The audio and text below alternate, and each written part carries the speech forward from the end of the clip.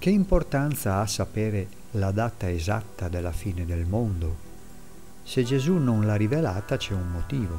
In pratica tutti noi dobbiamo sempre essere pronti perché non sappiamo né il giorno né l'ora. Quando noi cominciamo ad indagare in profondità nella nostra mente, finisce un mondo e ne inizia un altro perché cambia la visione del mondo ad ogni esperienza che facciamo. La nostra conversione personale è una fine del vecchio mondo di illusioni. Il ritrovarci nell'altra dimensione in modo definitivo è la conseguenza di tutti gli stadi evolutivi precedenti, sia psichici che spirituali.